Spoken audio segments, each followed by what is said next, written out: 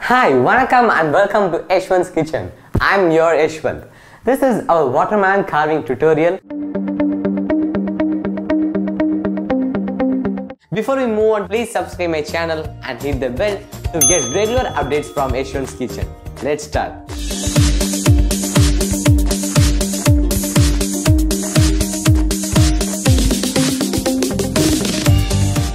I'm going to show you multiple designs and techniques in this video. Please do watch till the end to learn all the techniques completely. Let's start.